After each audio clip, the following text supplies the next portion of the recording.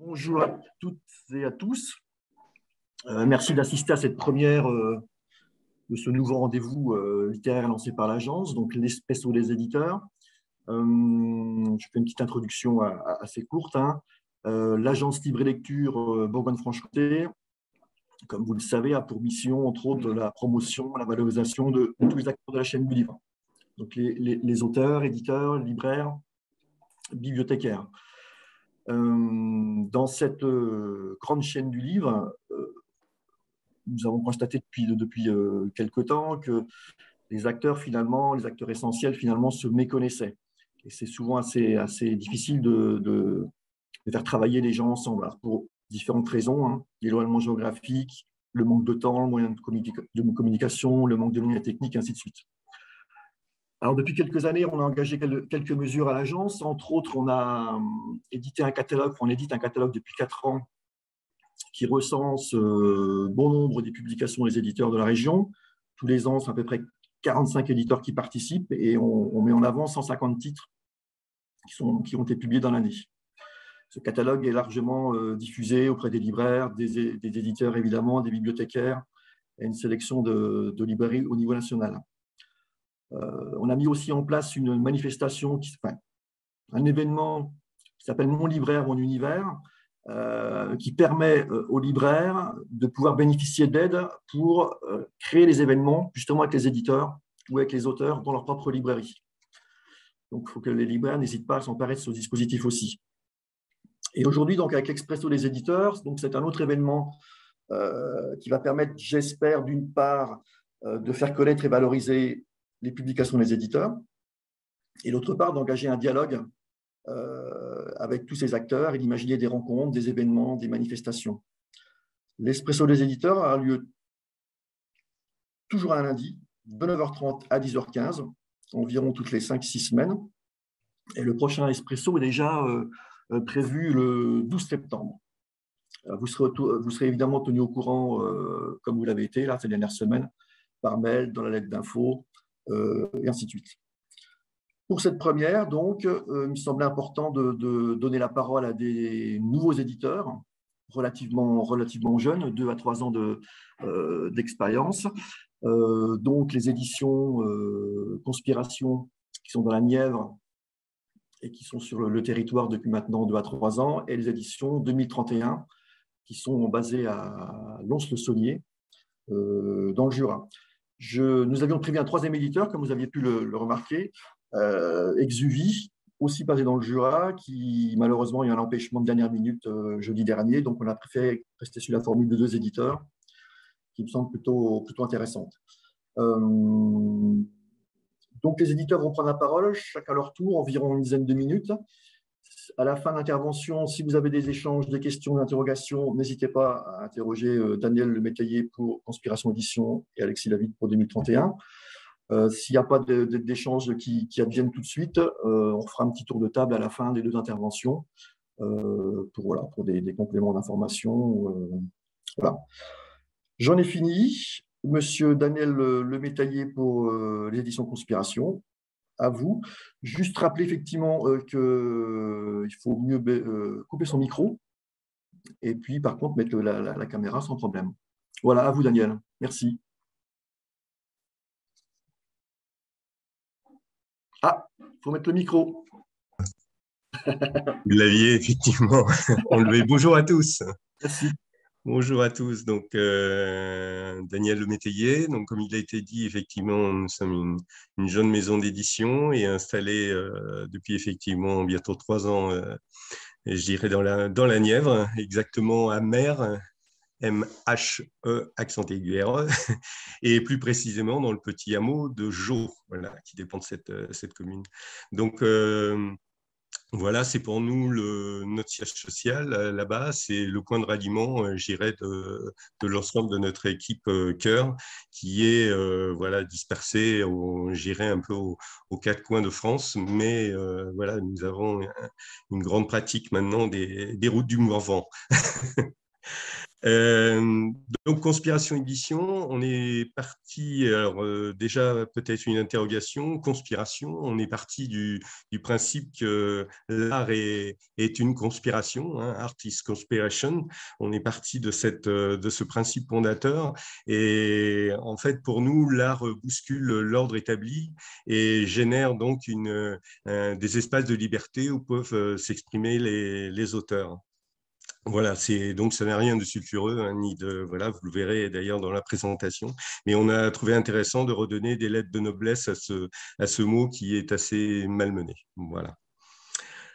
Donc, nous, avons, nous appuyons euh, sur euh, quatre collections. Alors, euh, déjà, nous, avons, nous portons un soin particulier, évidemment, à chacune de ces collections.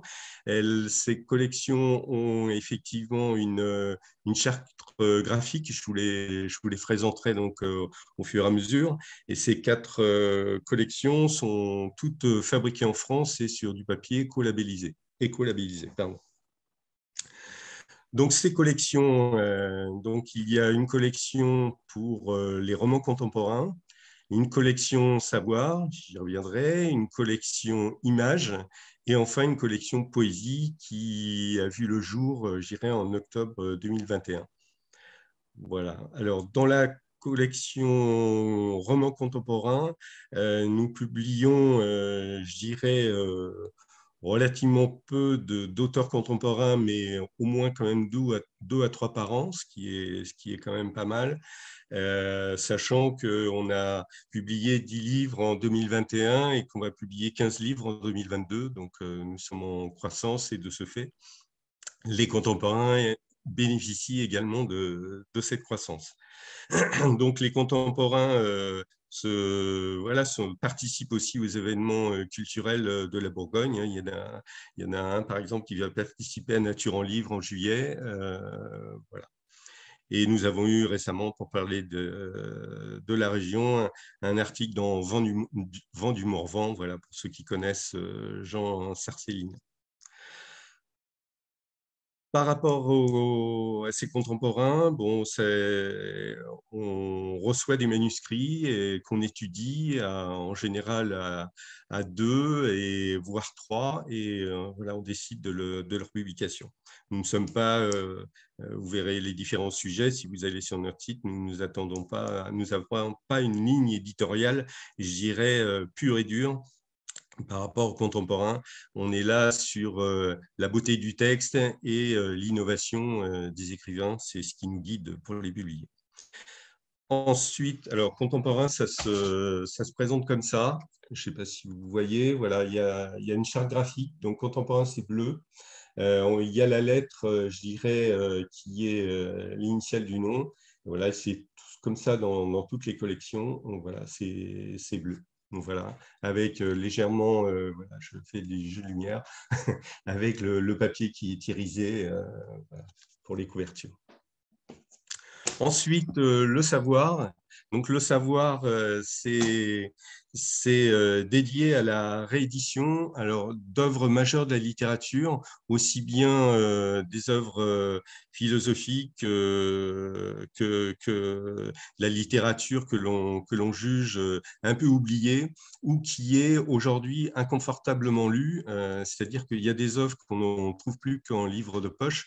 J'ai rien contre les livres de poche, mais je dirais on peut apporter aussi un certain confort de lecture et, et un bel objet, je dirais à, offrir, euh, je dirais, à chaque, à chaque personne désirant euh, relire euh, Les Faux Monnayeurs, et désirant relire, je dirais, des Don Quichotte, par exemple.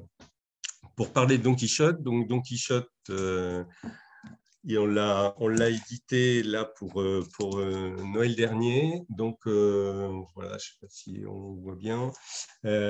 donc, c'est, on a, ce sont les deux tomes. Ils sont en coffret. Voilà, c'est un coffret qui est qui, rejoint, enfin, qui, qui, rattache les deux tomes. Et c'est, j'irais, la version de, de Gustave Doré, donc, euh, on a, euh, on a revisité l'ensemble des gravures de Gustave Doré en informatique pour les rendre, alors là elles sont floues évidemment, bref, donc, euh, pour les rendre beaucoup plus, beaucoup plus euh, agréables à l'œil et avec une finesse du trait, c'est-à-dire qu'on est descendu vraiment au trait de, l'artiste et, nettoyé un peu en général tout ce qui était encrassement, euh, je dirais, des gravures. Donc, euh, cette œuvre a été accompagnée, euh, je dirais, par euh, également la, région dans sa, dans sa publication. Sinon, en philosophie, ben, nous allons de Nietzsche à, à, Chamfort, en passant par Stephen Weil également pour tout ce qui, vis-à-vis de, son, de, son, de son œuvre concernant la, la, sa réflexion sur les causes de la liberté et l'oppression sociale. Donc voilà à peu près, j'irai vis-à-vis de ce savoir. Et j'ai parlé des faux monnayeurs. Les faux monnayeurs vont paraître euh, donc euh, au mois de juin, euh, à la fin de ce mois.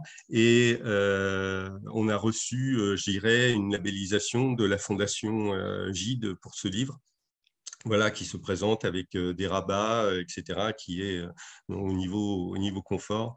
Et c'est Jean-Claude Perrier, donc le responsable de la Fondation Gide, qui nous a fait la préface de ce, de ce, de ce faux monnayeur. Voilà. Et on manque pas d'humour, c'est qu'en quatrième de couverture, nous avons mis et on vous a rendu la monnaie. Voilà. Une des phrases du livre, évidemment. Ensuite, il y a la collection images. Donc, la collection images, Pareil, charte, euh, graphique euh, que je montre là. Ah, c'est dommage, je, ferai, je, ferai, mieux la prochaine fois au niveau de mon, réglage de focale. Voilà.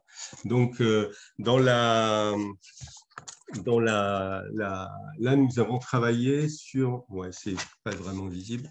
Nous avons travaillé sur, je dirais, des, des anciennes bandes dessinées c'est une collection donc euh, images. On a, on a retravaillé pareil euh, au niveau informatique euh, l'ensemble de Little Nemo. Donc l'intégrale, on l'a fait en trois tomes. Le, troisième tome est sorti au mois d'avril de cette année. Et euh, voilà, il a eu aussi un grand succès au, marché de la poésie, euh, puisque, puisque c'est, du rêve poétique et c'est vraiment euh, magnifique. Voilà. Donc c'est une œuvre voilà, que l'on a complètement traduite en français et voilà, qui est entièrement réécrit à la main, puisqu'il y a énormément de banderoles, etc. Et on ne se voyait pas, je dirais, avoir différentes écritures. Donc voilà, c'est toujours fait avec soin et avec, avec précision. Nous travaillons également au niveau d'image sur euh, des films donc, euh, nous, créons des, entre guillemets, des romans photos. Là, on a mis euh, ce qui existe aujourd'hui, c'est euh, par exemple L'Aurore de Murnau, ce célèbre film muet. Donc, on en tire, j'irais, les, les, images les plus marquantes, j'irais, de notre de l'œuvre. Voilà. Le, prochain, ce qui va sortir là, avant la fin de l'année, c'est La Nuit des Morts Vivants, donc un autre, un autre aspect, j'irais, du, du cinéma, celui de la version de Moreno, l'original donc euh, de 1968. Et ensuite la collection poésie. Donc la collection poésie, elle, euh, c'est une, petite nouvelle voilà, qui est arrivée en octobre 2021. Euh, le premier, nous avons la chance que le premier contemporain que nous avons édité, parce que nous avons aussi des contemporains en poésie, mais que nous laissons dans, le, dans la poésie, donc euh, charte graphique pareil comme, euh, comme les autres, avec, euh, par contre, c'est jaune. Et voilà, nous publions à la fois un contemporain et un poète illustre avec des clins d'œil. Donc, en même temps que Chant continue, on avait publié la chanson du mal-aimé. Nous avions cassé le recueil Alcool, parce qu'on trouvait que la chanson était restée depuis trop longtemps euh, imbibée dans l'alcool et euh, on, souhaitait la faire vivre, je dirais, indépendamment, en toute liberté. Voilà. Et on lui a associé des eaux, des eaux fortes de, de Marcoussis.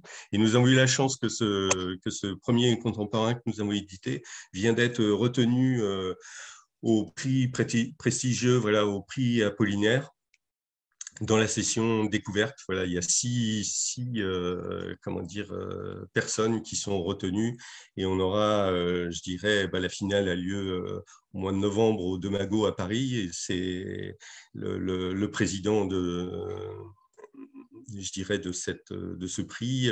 Cette année, c'est Jean-Pierre Siméon. Et donc voilà, pour, montrer un peu la, hauteur. Et nous sommes déjà ravis d'être sélectionnés pour une première. C'est juste magnifique. Voilà. Et nous avons également édité un Michaud avec l'accord, je dirais, de, des ayants droit de, de Michaud, voilà, la famille euh, Lebovici, qui, qui, en fait nous a, nous a donné ses droits et également les droits de Gallimard, euh, puisque Gallimard avait euh, voilà, racheté les anciennes, l'ancienne maison d'édition, enfin les droits de l'ancienne maison d'édition qui avait fait ça. C'est Paix dans les brisements, donc c'est une œuvre à la fois faite sous mescaline, à la fois graphique c'est-à-dire qu'il y a tout un tas de, de, dessins de, l'artiste, une explication de ces dessins, et ensuite un long poème euh, également, euh, cette fois avec des mots, euh, sous l'emprise de cette, de cette drogue qu'il prenait avec une surveillance médicale, mais pour pousser la poésie. C'était vraiment une expérience. c'est c'est vraiment une, une, performance, comme on, disait, comme on dirait aujourd'hui. Voilà. Donc, euh, ça, c'est une œuvre d'art, c'est à tirage limité. Et euh, voilà, on a, elle est disponible, elle est sortie juste pour le marché de la poésie. On a eu cette chance de l'avoir. Et euh, d'ailleurs, j'ai eu un très gros succès. On en, a, vendu beaucoup, même si c'est une œuvre d'art et là, pour le coup, un, prix un peu plus élevé, mais euh, qui, est, vraiment euh, très, très bien parti et qui, je dirais, va être en vente dès le mois d'octobre au niveau des libraires, mais en vente ferme. Voilà, comme c'est un, voilà, j'ai fait rapidement un tour d'horizon. Nous faisons aussi des livres audio. Euh, c'est pour ça que nous sommes multifacettes et nous avons enregistré euh, justement chant continu bon, avant qu'il soit retenu pour ce prix avec euh, du wood et voilà, nous avons et une lecture à deux voix. Voilà, nous, avons, nous accompagnons nos livres avec une performance audio. Voilà, je pense que j'ai peut-être écoulé le temps imparti. j'ai essayé de faire court et vite. Fait. C'est très bien comme ça. Euh, je ne sais pas s'il y a eu des questions, une interrogation euh, de la part de, des personnes. Euh, s'il n'y en a pas pour le moment, moi je vais poser une petite question quand même à propos de la diffusion et de la distribution. Savoir, savoir où, où, on peut trouver tous vos ouvrages aujourd'hui et de quelle manière. Alors effectivement, je, ne l'ai pas évoqué. Euh, donc nous sommes euh, diffusés donc par euh, la maison Cédif, donc on est distribué par la maison Pollen. Donc on se retrouve, on est, j'irais, présent dans énormément de librairies, sur le en France. Euh, on a quelques aussi euh, clients suisses et belges, mais c'est voilà, on est distribué par ces deux, par ces, enfin, diffusé et distribué voilà par ces deux entités sur l'ensemble de nos livres. Donc s'il il y a des, effectivement des, des, gens de pollen euh, qui viennent, qui viennent dans chaque librairie, qui peuvent prendre, enfin qui font partie de leur, leur réseau, mais c'est déjà un très grand réseau et on est présent dans, plus de 80 grosses librairies. Quoi. En, sachant, si je puis me permettre pour préciser, c'est qu'un aspect de la loi langue qu'on ne connaît pas, souvent, c'est qu'en fait, la, commande à l'unité des ouvrages, normalement, est obligatoire dans n'importe quelle librairie. C'est-à-dire que parmi les 3000 euh, ou 3500 librairies de France, normalement, ils sont tenus de commander. Ils ont les moyens techniques, hein, de toute façon, avec, euh, avec Tidicom hein, euh, pour commander n'importe lequel des, ouvrages de n'importe quel éditeur en France. Donc même, à l'unité, c'est-à-dire où vous vous trouvez, normalement, vous pouvez trouver, enfin, commander les ouvrages de, conspiration et de, tous les éditeurs d'ailleurs. Mais c'est effectivement c'est un devoir du libraire de commander même à l'unité une petite maison d'édition. Voilà. Euh, je vous remercie. Euh, je vais laisser la parole à Alexis David pour les éditions 2031. Et puis, s'il y a un petit peu de retour euh, à la suite de, de, de, Monsieur Alexis David, et ben, on reposera quelques questions à la fin. Merci beaucoup. À tout à l'heure, peut-être. Oui, bonjour à toutes et à tous. Déjà, est-ce que vous m'entendez bien? Oui? Ok. Euh, eh ben moi, je, donc Alexis David, je, représente euh, une jeune maison d'édition qui s'appelle euh, les Éditions 2031, qui est née et qui vit à Lons-le-Saunier, pardon, dans le Jura. on est une maison d'édition sous forme d'association, avec un objectif à, à, court ou moyen terme de devenir une société coopérative. Euh, mais pour l'instant, on est toujours euh, sous la forme d'associations et euh, c'est une, une, volonté à l'origine d'un petit groupe de personnes qui avaient envie de, créer un outil d'édition avec une thématique plutôt orientée, notamment en matière de transformation sociale et écologique. Et je pense certainement qu'il y en a déjà qui se demandent pourquoi est-ce qu'on a choisi ce nom d'édition 2031. Euh, pour vous donner une idée de la teneur de, de, notre, euh, comment dire, euh, de ce qu'on publie. 2031, c'est l'année qui était présentée quand, quand, quand, nous avons lancé notre maison d'édition. c'est l'année qui était présentée par le GIEC comme étant l'année limite pour inverser radicalement le, le réchauffement climatique. En tout cas, c'était le cas en 2019. Euh, même si aujourd'hui euh, les derniers rapports du GIEC sont encore plus pessimistes que ça euh, et, prétendent qu'il il nous reste seulement 3 ou 4 ans pour, pour inverser radicalement les choses. donc on a voulu, on a souhaité créer cette maison d'édition pour mettre à disposition d'auteurs justement un outil pour qu'ils puissent venir à la fois faire euh, témoigner de euh, leurs combats, euh, leurs actions individuelles ou collectives, pour également permettre à ce que des citoyennes et des citoyens expriment un point de vue et des, théories, des positions dans, ces domaines-là. et, et, d'une manière générale, l'idée c'était de, enfin l'idée c'est de de, soutenir euh, l'exercice politique des citoyens et, une démocratie intense.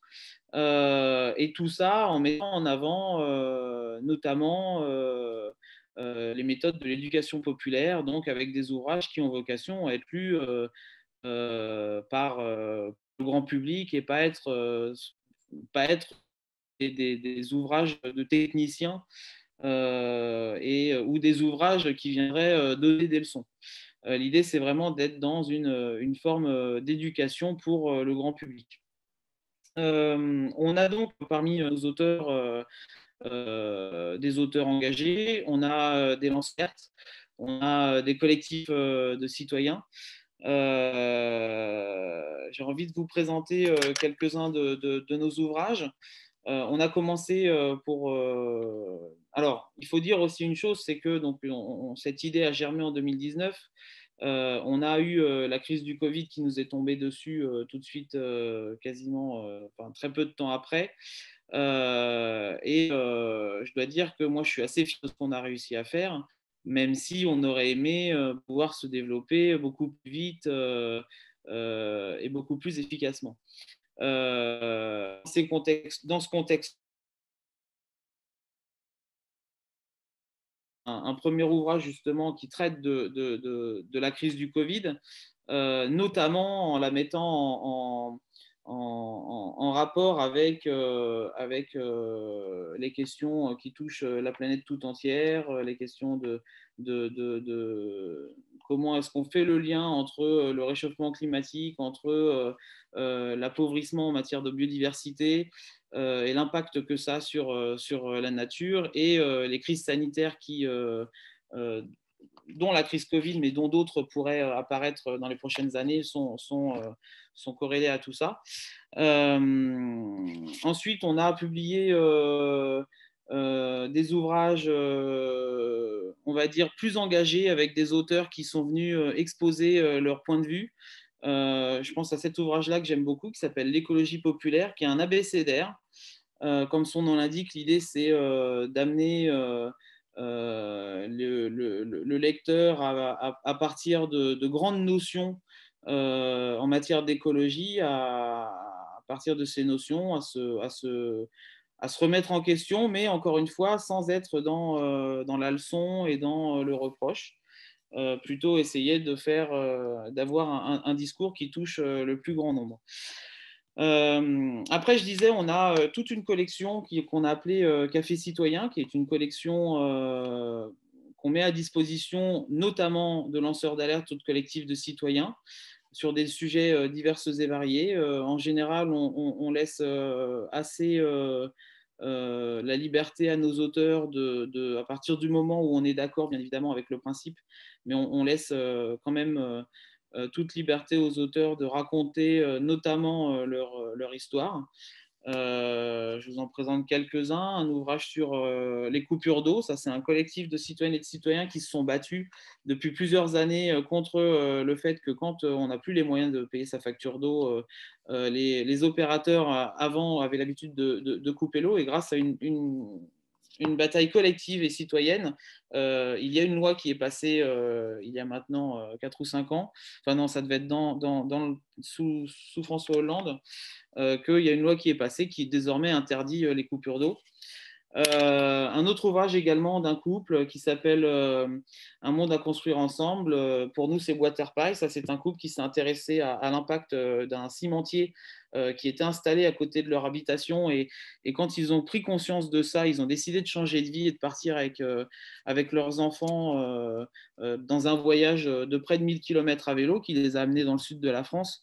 et ils se sont posés là où ils se sont plus et ils ont désormais dédié leur vie à euh, la construction écologique en, euh, terre crue, à partir de matériaux comme euh, le bois, la terre et la paille, plutôt que de faire appel à, l'industrie traditionnelle du béton et avec les impacts écologiques néfastes qu'on connaît de, cette industrie-là.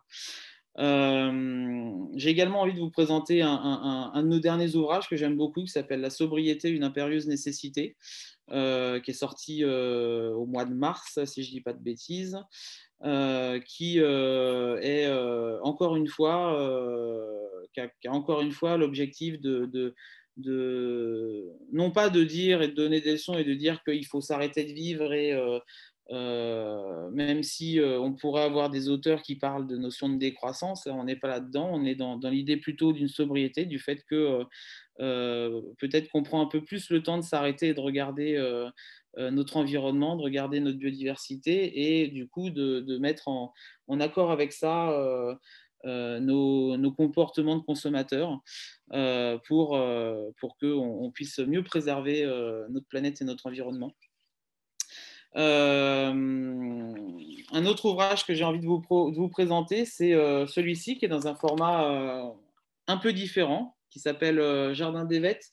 Euh, là, pour le coup, on est sur euh, un collectif de citoyennes et de citoyens à Besançon qui sont venus nous voir et nous ont parlé d'un combat qu'ils mènent localement à Besançon, jardin de verdure au cœur de, la ville qui, pour ce collectif citoyen, enfin, ils, souhaitent pouvoir le préserver et, euh, le mettre en avant, alors qu'il y, il y a des projets depuis de, plusieurs années euh, euh, de, de, détruire ça, et y compris l'apport en biodiversité qu'il y a dans ce jardin-là.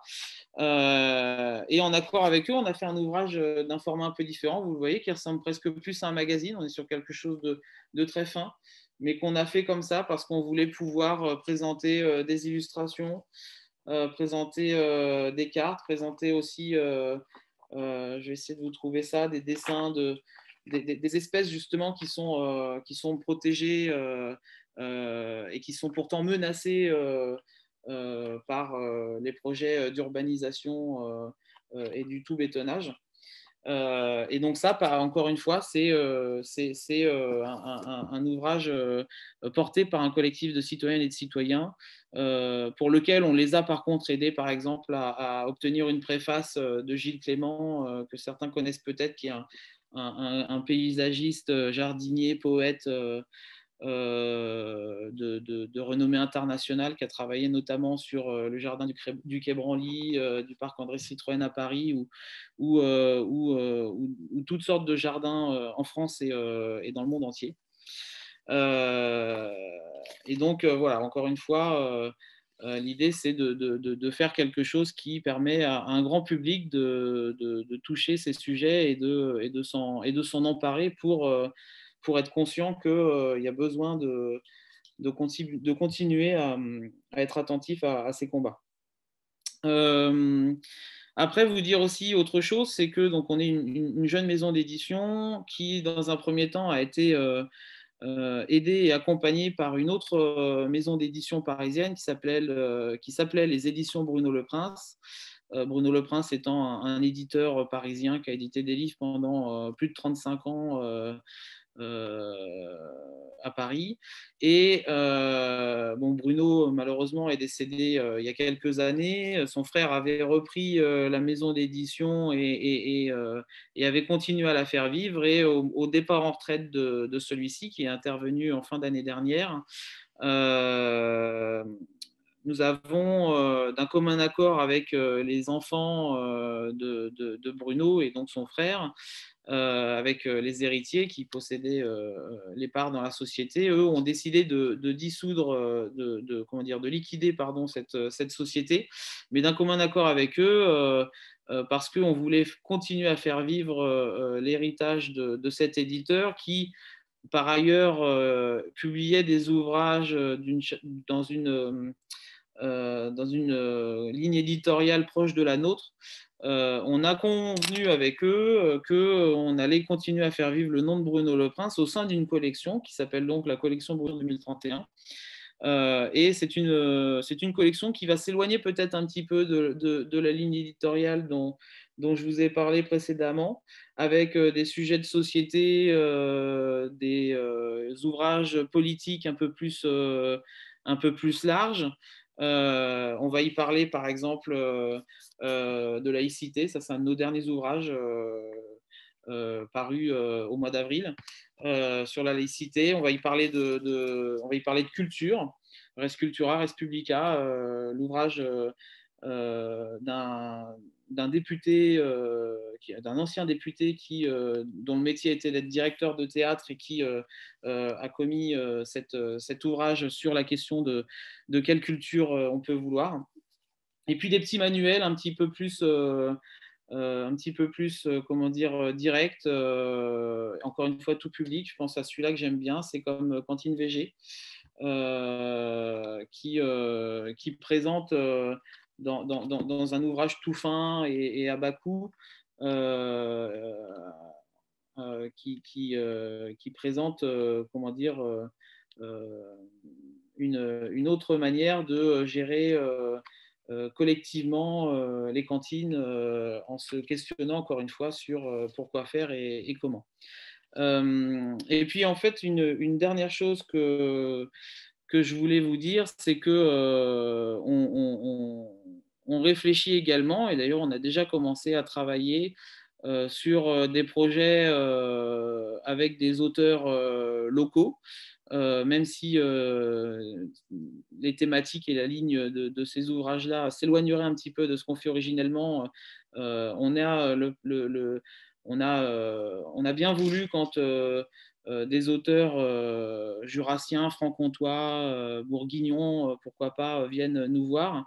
on a bien voulu regarder avec eux si on, pouvait travailler ensemble et, en ce sens, on a un, premier ouvrage dans cette idée qui va sortir prochainement, dans, les, semaines qui viennent, d'un auteur jurassien qui s'appelle Philippe Godard, qui va être un livre plutôt jeunesse, euh, euh, qui va présenter des récits de vie de jeunes euh, francs-comtois. Qu'est-ce que c'est qu'être jeune quand on est en Franche-Comté, et notamment autour de, témoignages de jeunes qui ont des parcours un peu de décrochage scolaire, puisque l'auteur a beaucoup travaillé là-dessus.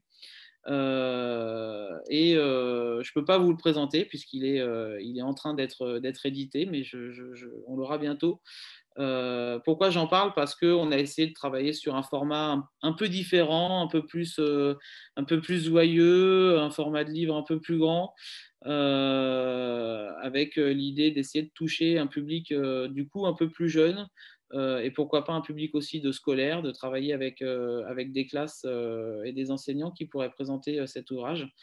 Euh, je pourrais également vous parler d'un autre projet qu'on a de, de, de, livres, euh, cette fois-ci enfance, avec, avec une, une, artiste illustratrice jurassienne qui est en train de travailler sur un livre, ce qu'on appellerait un beau livre pour enfants avec des belles illustrations, très peu de texte, et encore une fois un, contenu qui tourne autour des questions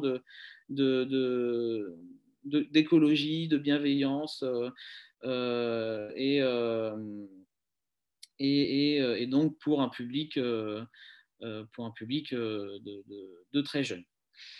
Voilà ce que je peux vous raconter sur notre maison d'édition. J'espère que je n'ai pas été trop long.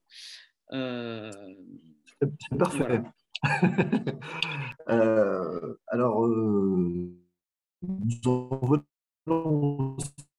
maintenant évidemment autant des, questions ou des, échanges euh, éventuels. Euh, moi, j'ai envie de poser déjà la même question que pour Daniel, euh, d'un point de vue de la diffusion, de la distribution. Aujourd'hui, est-ce qu'on peut vous trouver à peu près, à peu près partout Déjà au niveau, au niveau local, peut-être déjà, enfin au niveau régional plutôt? Oui, alors on, on a, on, on, a notre site internet sur lequel on peut commander en ligne. Après, on est euh, euh, disponible sur euh, les réseaux d'Illicom pour que les, libraires puissent, puissent commander nos ouvrages. on n'a pas encore de, de, diffuseur ou de distributeur. On est en train de travailler là-dessus à l'échelle au moins de la région, enfin, au moins de, de la Franche-Comté ou de la Bourgogne-Franche-Comté. Euh, par contre, après, c'est vrai que voilà, localement, sur des libraires autour de, Lons-le-Saunier, on a, euh, on a fait nous-mêmes une démarche d'aller les voir et de leur proposer euh, nos ouvrages.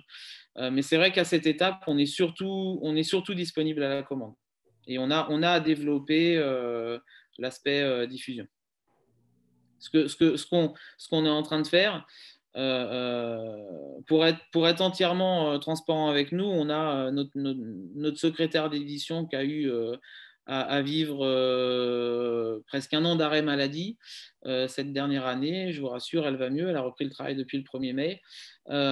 et c'est vrai que ça nous a retardé dans, dans, dans pas mal de, choses d'un point de vue développement de notre activité, mais mais voilà, on est toujours là, plus que jamais, euh, et, on, est reparti. Euh, on a sorti euh, cinq ouvrages en trois mois, et,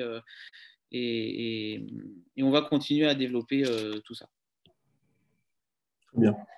Vous êtes, sur un rythme de publication de, 6, à 8 ouvrages par an, si, en, en rythme de troisième, on va dire? C'est ça. On va, on, va être, on va être euh, quelque chose comme ça. Je pense que cette année, on, on, va peut-être même faire un petit peu plus. D'accord. Alors, y a-t-il d'autres questions ou remarques?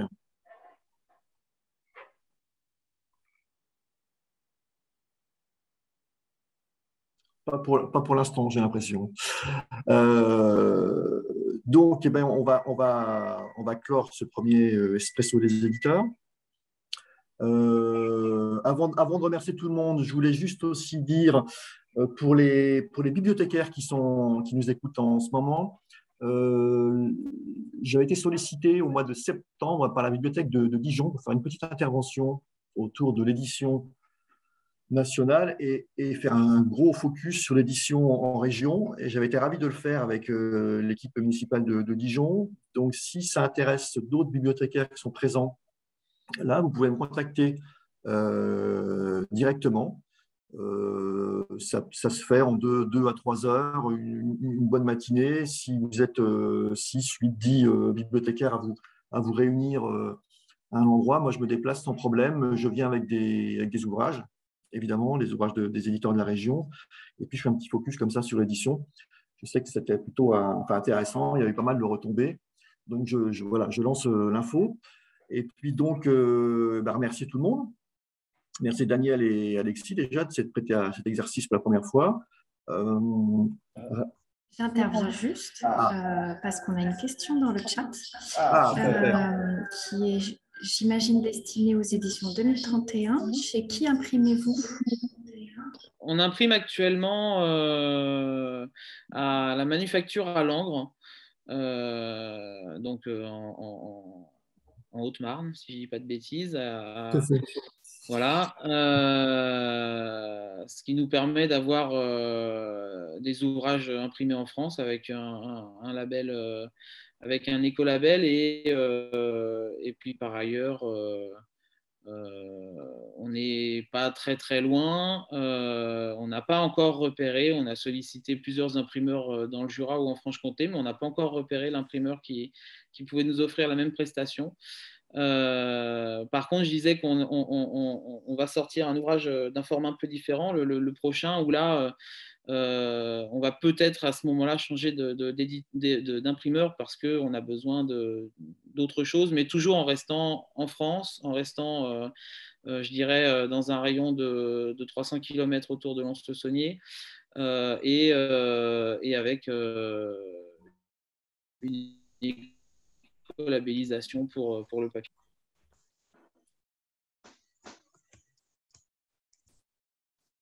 Et alors, on a la même question pour euh, les éditions Conspiration.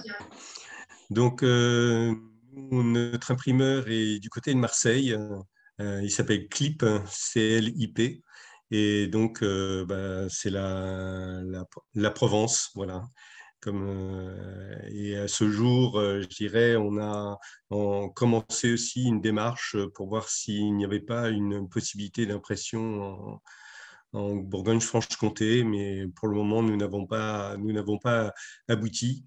Euh, ceci pour euh, diversifier les, les, zones d'impression et puis se rapprocher effectivement de la région, puisque nous y sommes maintenant depuis bientôt trois ans.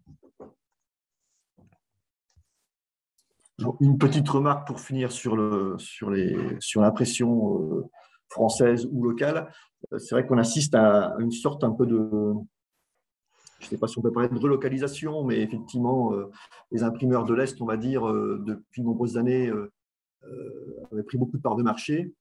Il se trouve qu'on se rend compte quand même que depuis quelques, quelques temps, je pense que le Covid aussi a accéléré un peu les choses, que la plupart des éditeurs de, la région, par exemple, éditent maintenant, enfin impriment plutôt maintenant en France. et essayent effectivement de se rapprocher aussi effectivement un petit peu de la Bourgogne-Franche-Comté. C'est une tendance qu'on observe un petit peu depuis, depuis quelques mois. Je trouve ça plutôt, plutôt sain. Euh, et peut-être que, que, à terme, ça va devenir aussi un, ça peut devenir aussi un argument de vente quelque part, imprimé, imprimé, diffusé, enfin, édité, imprimé dans un rayon, euh, euh, un rayon de 200 ou de 300 km, je ne sais pas. ça peut être aussi intéressant pour pas mal d'éditeurs. juste pour dire aussi que les pays de l'Est, on va dire en gros, sont encore encore un petit peu, d'avance sur les ouvrages bien spécifiques. À partir du moment où il y a de l'image, il y a de la couleur, les ouvrages sont plus conséquents. C'est vrai que les pays sont encore très, euh, un petit peu d'avance, mais pour tout ce qui est euh, impression de livres noirs, comme on dit, euh, aujourd'hui, il y a des très bons imprimeurs partout en France. Alors, j'ai une autre question pour M. Métaillé. pardon. Comment peut-on vous soumettre un manuscrit? En fait, euh, sur notre euh, site, donc conspirationédition.com, euh, vous pouvez, voilà, nous, il y a l'adresse, je dirais, mail, vous nous envoyez par mail directement le, manuscrit. Voilà. De manière électronique, c'est le, le plus facile. Très bien. J'ai répondu à la question, oui. Très bien. Puis j'ai aussi, euh, pourriez-vous proposer une présentation des éditeurs régionaux ou professeurs documentalistes des académies Dijon et Besançon Ce serait très intéressant. Donc, c'est adressé, évidemment. Euh, j'ai envie de dire sans problème. Euh, prenez contact avec moi ou, avec le, mail de ma collègue qui a dû vous envoyer le lien. Vous n'avez peut-être pas mon mail directement, je ne sais pas. Un des deux mails et moi je vous réponds sans problème pour organiser ça.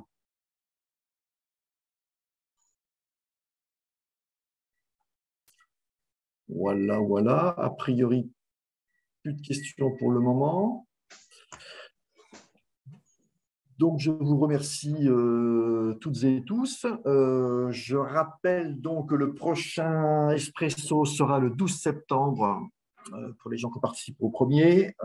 pour le moment, il n'y a pas de sélection d'éditeurs. Je vais la faire prochainement, donc au courant juillet. vous serez annoncé des, dates à partir du 20-25 septembre.